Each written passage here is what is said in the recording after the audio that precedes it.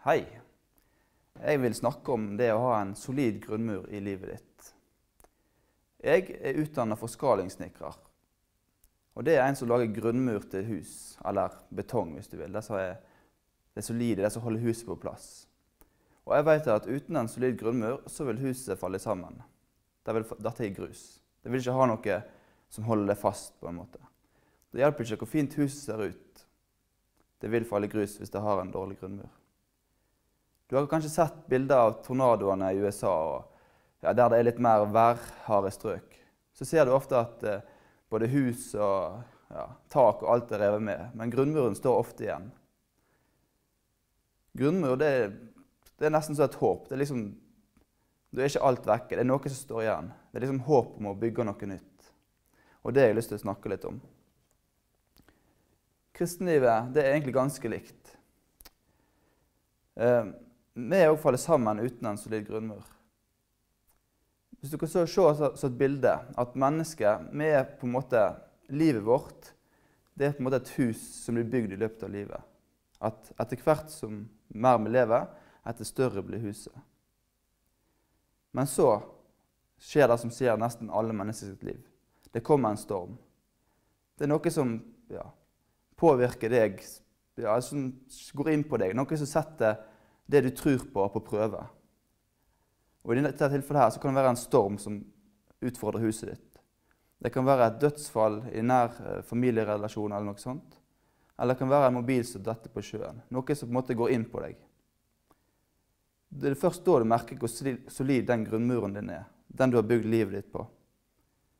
Du kan falle helt i grus, eller du kan ha noe du faller ned på. Noe solid som tar imot deg. Noe som holder deg oppe noe som gir deg håp. En solid grunnmur. Jesus han har lyst til å være med og bygge huset ditt. Men han vil ikke bygge noe som er solid oppå noe som er usolid.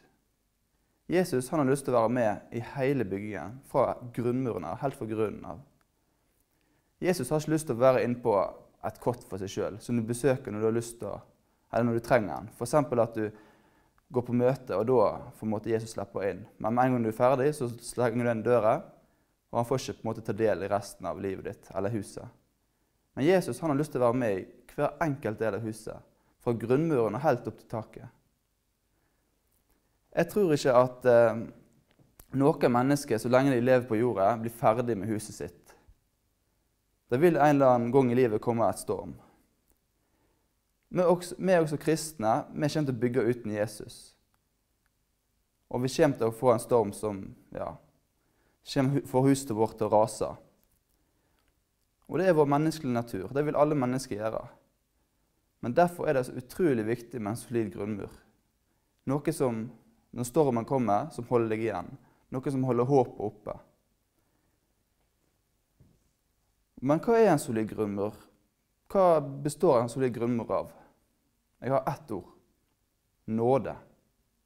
Det at Jesus døde for deg, så ufortjent og så ja, gratis for oss, det er, det er, så fantastisk. Alt du trenger å gjøre, er å få Jesus slippe inn i hjertet ditt. La han få ta del i livet ditt. La han få ta del i å bygge huset ditt. Det står i bergprekenen om at Jesus snakker om å bygge hus på solid grunn. Og jeg siterer.: Derfor, vær den som hører disse mine ord, og gjør etter dem. Han er lik en forstandig mann som bygger huset sitt på fjellgrunn.